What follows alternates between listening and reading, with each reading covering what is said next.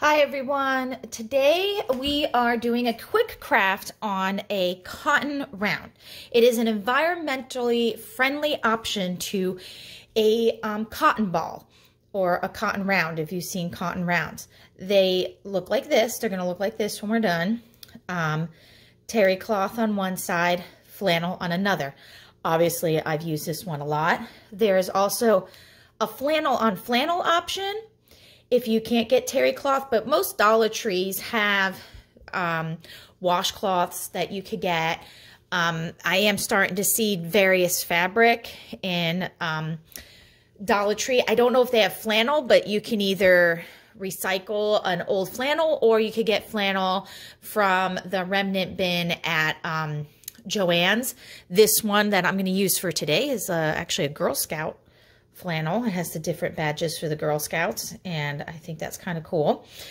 And again, it's just a quick, quick craft, so I'm not going to iron my fabric. But um, for today, I want to, like I said, I prefer the terry cloth one because I feel it feels better on my face and I like that it, it, absorbs the liquid better and stuff. So, and then what you do is you could just wash them when they get a little raggedy. This one I'm kind of using as a coaster for my um, soap dispenser because it keeps getting water underneath it. So the things you'll need besides terry cloth from either a washcloth or a towel um, and flannel. And as you see here, I have a glass. All right. Uh, the, the mouth of the glass will tell, will um, be how big your um, cotton round will be. Like this one was made from this glass. So the cotton round is obviously nice and large. This one's a little bit smaller. I made it from a smaller glass, but really you can use any glass you have available. I'm using chalk, okay, to help um, make my pattern. And what I do is I obviously just upended my glass and took the chalk and drew around the glass and already um, did the circles on on the terry cloth and the flannel. You can't really see the circles on the flannel toe well a little bit.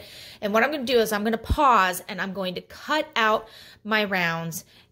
And then um, I also will be using my sewing machine as you see on this one. I don't know if you could see it. I do like a zigzag stitch to put it together.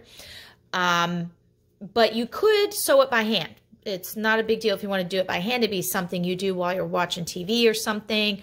But I like to use my sewing machine. So let me pause and cut out my patterns. Okay, so I cut out the rounds that I'm going to use to make the cotton round. Just to review, we have terry cloth, we have flannel, okay? And I have a glass to use to make the, as a pattern, and I have chalk to trace around.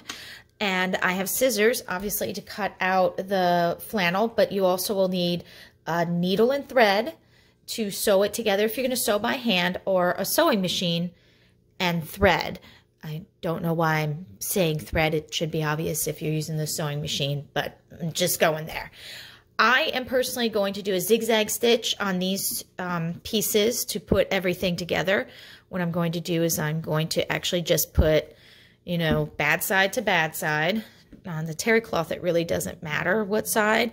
And then I'm just going to zigzag stitch around. Make sure you double back at least one at the beginning and at the end to make sure it sticks pretty well.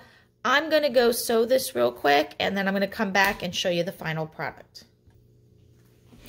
All right, I sewed, I did a zigzag stitch. I could clip a little bit to make it all nice and even, but these are just for me. And again, it's a quick craft. So this is what they look like. And then, like I said, you could wash them in your regular laundry. Um, I know the just flannel ones, I usually have to iron out after I um, wash them, but these are pretty good just to wash. They kind of lay flat and stuff like that. So there's another easy quick craft for you. Enjoy.